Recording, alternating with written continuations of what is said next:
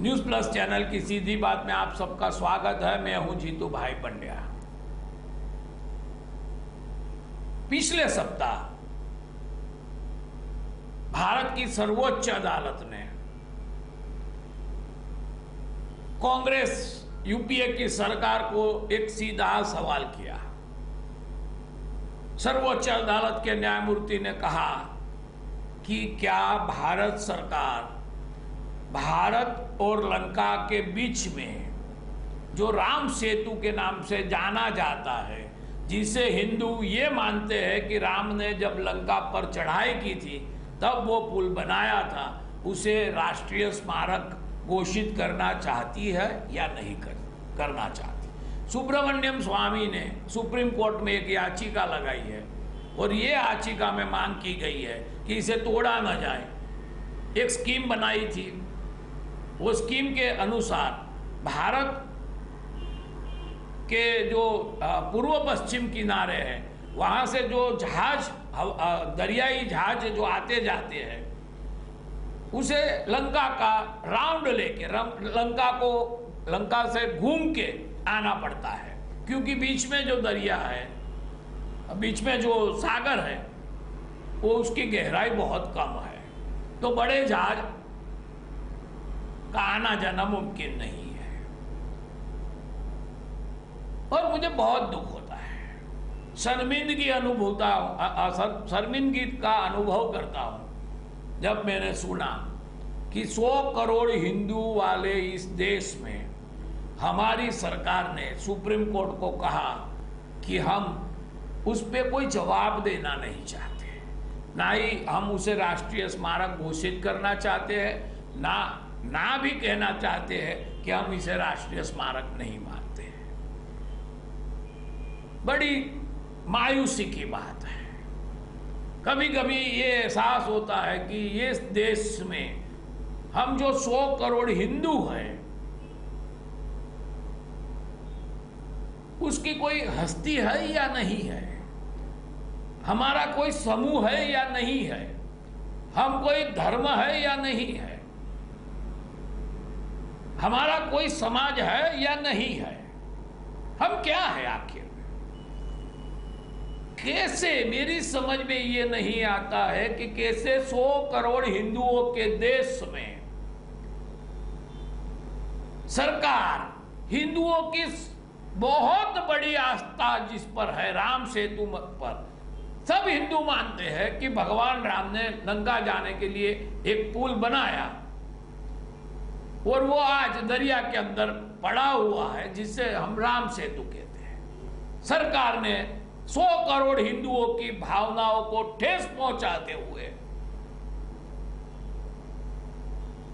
एक 19 या 18 20 सांसद वाले, पता नहीं मुझे एग्जैक्ट फिगर नहीं बता पा रहा हूँ, मगर 20 से ज़्यादा तो नहीं है इनके सांसद। वो करुणानिधि के कहने पर दबाव में सौ करोड़ हिंदुओं की छाती पे उन्होंने घाव किया है। दुनिया में कोई देश ऐसा नहीं होगा। अमेरिका चाहे कितना भी फ्री स्टेट है, वहाँ आप क्रिश्चियनिटी की जो मूल क्रिश्चियनिटी की जो ओरिजिनल फेथ है, उसे घाव करे ऐसा कोई प्रस्ताव पास नहीं कर सकते। कोई व्यक्तिगत बात नहीं कर रहा हूँ, कोई व्यक्ति किसी के बारे में कुछ कह सकता है, वहाँ बहुत ज़्यादा फ्रीडम है। मगर सरकार कभी ये सोच भी नहीं सकती कि ऐसा बयान दे, अमेरिका की या इंग्लैंड की या यूरोप की कोई सरकार ये बयान दे सके कि यीशु ख्रिस्त कब पैदा हुए थे, उसका हमारे पास इतिहास नहीं है। इसी, यीशु ख्रिस्त को जब सूली पे चढ़ाया गया और चार दिन के बाद वो फिर ज़िंदा हुए, उसका, उसके कोई प्रूफ नहीं है। सब मानते हैं, मगर प्रूफ नहीं है तो हमारी सरकार ये नहीं कह सकती कि यीशु ख्रिस्त फिर से ज़िंदा हुए होंगे। कोई सरकार ये हिम्मत नहीं कर सकती। पर हमारे देश में सौ करोड़ हिंदुओं के होते हुए भी कांग्रेस सरकार ये कहने की हिम्मत कर सकती है। ये कांग्रेस सरकार ने सुप्रीम कोर्ट में कहा था, कोई नेता ने भाषण में नहीं कहा था कि राम अयोध्या में पैदा हुए, ऐसा कोई प्रूफ नहीं है। तो मैं ये पूछना चाहता हूँ, ये कांग्रेस सरकार को, कि मोतीलाल नेहरू का बर्थ सर्टिफिकेट दिखाइए। अगर आप मोतीलाल नेहरू का बर्थ सर्टिफिकेट दिखा भी सकते हैं तो मोतीलाल नेहरू के पिताजी का कोई बर्थ सर्टिफिकेट दिखाइए। अब जब आप मोतीलाल नेहरू के पिताजी का या मोतीलाल नेहरू का बर्थ सर्टिफिकेट नहीं दिखा सकते, और जब आपकी सरकार में देश के सेना अध्यक्ष जो कि लश्करी अस्पताल में पैदा हुए थे, उसकी डेट ऑफ़ बर्थ आप कंफर्म नहीं कर सकते। और आप कहते हैं कि राम के जन्म का कोई हमारे पास अधिकृत प्रूफ नहीं है। जबकि आपके सेना अध्यक्ष के जन्म का आपके पास कोई अधिकृत तारीख नहीं है। तब आप राम के लिए ऐसी बात करते हो। दुख होता है और आक्रोश भी होता है कि हम हिंदू है क्या? हम क्या करते हैं? हमारी कोई औकात नहीं है। सौ करोड़ होते हुए भी इस देश में हम भिखारी है। कोई भी पॉलिटिकल पार्टी ऐसी हिम्मत कैसे कर सकती है कि सौ करोड़ हिंदुओं के सीने में। ये ऐसी गंदी बात डाल सकती है। वो बात सिर्फ़ कांग्रेस से नहीं शुरू होती। कांग्रेस से खत्म होती है। बात शुरू हुई थी भाजपा के जमाने में। भाजपा ने नक्शे बनाए कि लंका और भारत के बीच से आने जाने का शॉर्टकट हो। वही डीएमके के नेता उस समय वाजपेयी की सरकार में बैठे थे। ये जो डीएमके है, द्रविड़ मुनत्र कजगम करके कुछ पार्टी है डीएमके पार्टी। उसके स्थापक थे, उनका नाम राम से था।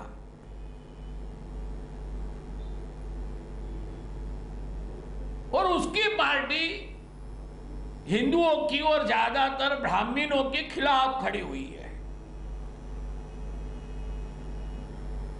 ये जो प्रोजेक्ट है, वो कोई फ़ायदे वाला प्रोजेक्ट नहीं है। मैं नहीं समझता हूँ कोई पूर्व पश्चिम भारत के बीच रोज पचास बड़े जहाज़ पसार होते हो। नहीं होते होगे, पचास भी नहीं होते होगे। मैं ज़्यादा से ज़्यादा बोल रहा हूँ। और उन्हें समझ लो कि 600 किलोमीटर 700 किलोमीटर घूम के जाना पड़ता है। वो भी मैं सबसे ज़्यादा कह रहा हूँ, इतना भी नहीं होगा। अगर बीच में राम सेतु तोड़ के, जो हिंदुओं की आस्था का केंद्र है, उसे तोड़ के ये डिस्टेंस कम किया जाता है? तो फ़ायदा क्या है? पचास जहाज़ आते जाते हैं, वो ज़्यादा से ज़्यादा 500 किलोमीटर की और मुसाफरी कर ले 2500 किलोमीटर हो गए। वो 2500 किलोमीटर के लिए जो डीजल चाहिए, वो सरकार मुफ़्त दे दे, सब जो भी जहाज़ आए जाए उसे डीजल मुफ़्त दे दे। तो भी अब्बजों रुपये का जो खर्च हो रहा है, उससे बहुत कम खर्च में, उसके इंटरेस्ट के इंटरेस्ट में से भी ये खर्च निकल सकता है। मगर करुणानिधि हमारे हिंदुओं की जो आस्था है, उसे तोड़ना चाहते हैं, उसे वो, उसे आनंद आता है। हिंदू होते हुए भी वो हिंदुओं को दुख देना चाहता है। कोई मुस्लिम शासक भी ये नहीं करता।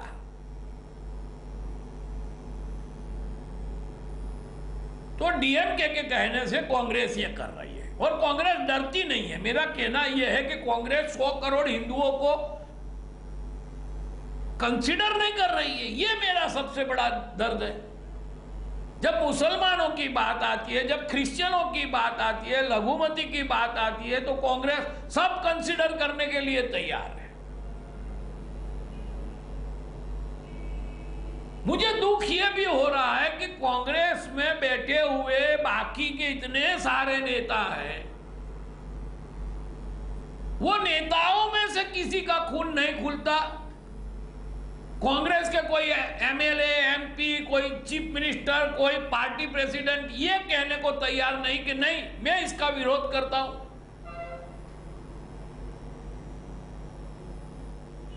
मैं हिंदू हूँ, मैं इसका विरोध करता हूँ कि यह राम सेतु नहीं टूटना चाहिए, राम सेतु राष्ट्रीय स्मारक बनना चाहिए। अगर ये नहीं कह सकते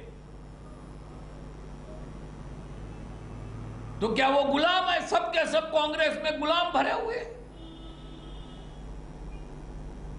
और हमें भी सोचना चाहिए, हिंदुओं को भी सोचना चाहिए कि जब कब तक हम कांग्रेस हमको गालियाँ देती रहे, हमारे खिलाफ डिसीज़न लेती रहे और हम उसे वोट करें।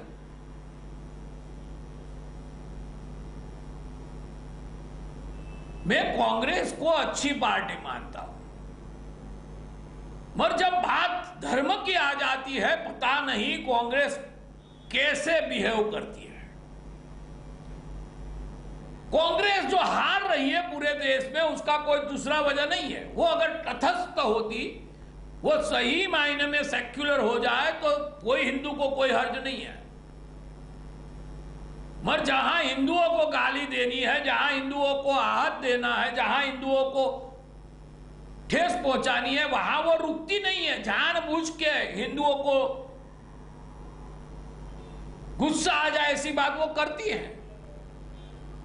बाटला हाउस में दो मुसलमान मर गए। एक इंस्पेक्टर भी मर गया। अब कांग्रेस के नेता कह रहे हैं, उनके ही सरकार के खिलाफ के ये एनकाउंटर गलत था। मतलब मरने वाले सही थे और जो इंस्पेक्टर मर गया, शहीद हो गया, वो गलत था। उसके खिलाफ कांग्रेस में कोई कुछ बोलता नहीं है। तो ये कांग्रेस की नीति है जो वो पिछड़ी ही जा रही है, पिछड़ी ही जा रही है। और जब इन्होंने ये सुप्रीम कोर्ट में कहा कि हम ये कंफर्म नहीं करते हैं, हम इसे, इसका जवाब भी देना नहीं चाहते तब एक हिंदू होने के नाते मेरा खून तो खुल रहा है। मैं विरोध करता हूँ, मैं कांग्रेस की इस नीति को कंडेम करता हूँ।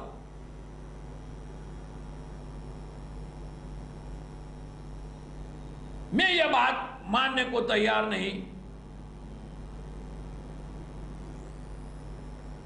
मैं ये बात मानने को तैयार नहीं कि कोई प्रूफ नहीं है। नहीं होगा प्रूफ प्रूफ नहीं मिलेंगे। धर्म धर्म की कोई बात के प्रूफ नहीं होते। टेन कमांडमेंट्स भी एक ही मसीहा ने सुनी।